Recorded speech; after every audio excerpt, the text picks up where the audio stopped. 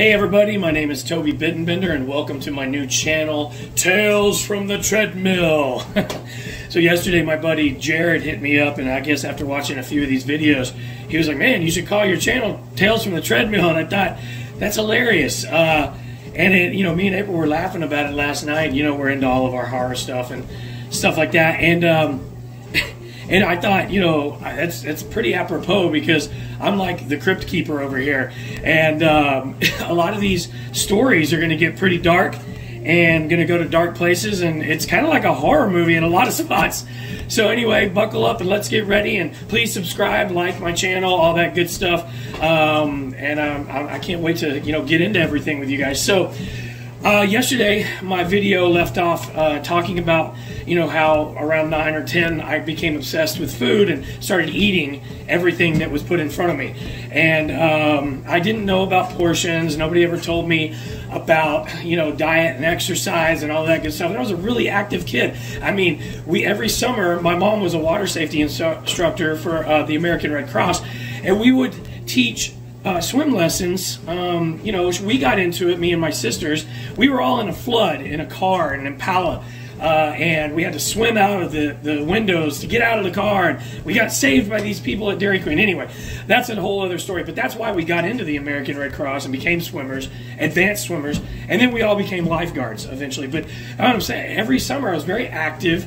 Um, you know, and I had an active childhood. I, I, like I said, I played sports, I played tennis, I played soccer. Um, you know, as a swimmer. Uh, I threw footballs, a base, anything I get my hands on. I'm playing sports. Uh, the problem was I didn't understand about diet and exercise. Nobody ever taught me, and um, you know, and that's look, that's on me still. I'm not saying anybody uh, was wrong or anything like. They didn't have the knowledge either. So how how are they going to teach? Me? You know, what I'm saying how is anybody going to teach me? And I just um, you know, so but what had happened was I had an, uh, an unhealthy obsession with food. I still am obsessed with food. I'm a foodie to the core. Um, but what happened was I started gaining weight and like 10, 12 years old i'm I, you know i just you can see the pictures like i said back in the day. I was very chubby kid and uh, i started you know having a very people at school kids at school they can be cruel were calling me names and look i'm not trying to be a victim here and and you know that happens to thousands of people unfortunately every day you know parents we need to teach our children better. But uh but yeah i mean i would come home i'd be upset you know all the kids are calling me these names. And, you know, my mom was like, no, you're just big boned. God rest her soul. I love her. But, you know, I'm like, well, that's not what they're calling me, mom. So anyway, I I started having a really bad self image, and it led into my teenage years. And the one positive thing that happened was I got obsessed with the guitar. You know, there are good addictions, and guitar became one of them because you know, I would take all that angst and all of that stuff and go into my room and shut the door and just play guitar all night. And that's really what uh, where I fell in love with the guitar. And to this day, I still am in love with the guitar because it feeds my soul, you know. But leading into my teen years, I was so I had such a bad self image and low self esteem. And, you know, maybe a lot of people didn't know that because I think I'm good at putting on a, a, confident front. But in reality, I think we all have insecurities, right? And especially in your teen years when you know, those are very vulnerable years for, for everyone. Uh, and so, I mean, like a couple different stories I can tell real quick. Like this is how bad it was as far as the way I looked at myself. Um, I would it would be 90 degrees outside, and I'd be wearing a winter coat to high school, ninth grade. I mean, I think even in my ninth grade picture, I've got a winter coat on, and it was hot outside. So uh, because I was so I just didn't like the way I looked and I didn't know what to do about it, you know. And then the next thing I became a lifeguard, uh, Wet n Wild. And you know, when I was 16 and I was a shallow water guard, and the first two weeks I I saved a girl uh, on the rapids. She was she had gotten kicked in the back of the head. She was underwater. I pulled her out. Had to do artificial respiration on her. Uh, she started breathing, thank God. But the lead was like, "Hey, you should try out for you know deep water guard." And I was like, okay. And so I go and I just killed it because I'm a swimmer. So I did everything, and they were like, oh, you're yeah, you're definitely going to be a deep water guard. So I get on the stand and I wore a shirt. I'm on a lifeguard stand on the activity pool on the wave pool, and I'm sitting here wearing a, a, a shirt on the stand as a lifeguard.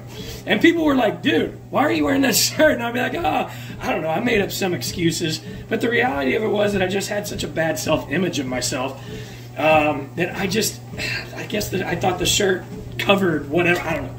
Anyway, it turned really unhealthy the next summer.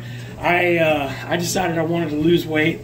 And so, yeah, I did get into the the, uh, the pool every day at lunch instead of eating. I would go and swim laps for the 15 or 20 minutes or whatever they gave us at, uh, at there for lunch. And I would just swim in the waves, and uh, and and eventually, what this led to, especially the not eating part, is that I would be super hungry and I would eat, and then I would start to get rid of that. If you know what I mean, I, I don't know the rules on here and what I can and cannot say, but but I was eating and I was getting rid of the food, and I started dropping weight, like freakishly dropping weight, completely unhealthy. The worst possible thing you could do. Do, do not, if you are listening to this, do not try this. This is terrible. You know, there are plenty of books and videos, especially with YouTube now, that can show you how to eat correctly and work out. But anyway, this is what I did. But the problem with this was I lost a ton of weight. I was tan, you know, I was thin, I had hair, you know. but uh, people were telling me, man, you look great. They were complimenting me left and right. And in my mind, my messed up mind, I thought, this is awesome. That unhealthy addiction led me down a path for five years. I struggled with that.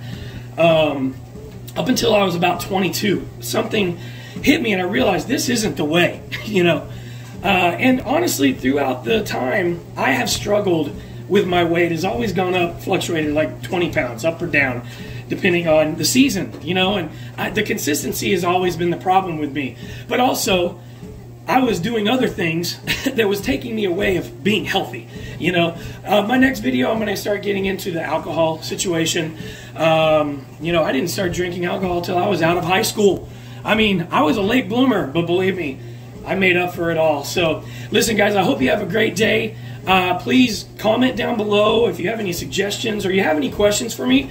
I love to interact with people. So uh, yeah, let's uh, let's let's work through this thing together. And uh, I really appreciate you being here. And I hope you have a fantastic day. Thanks.